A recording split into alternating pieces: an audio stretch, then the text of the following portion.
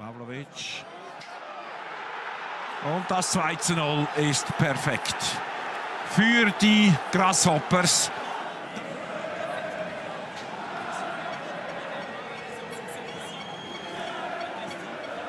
Allerdings Offside verdächtig.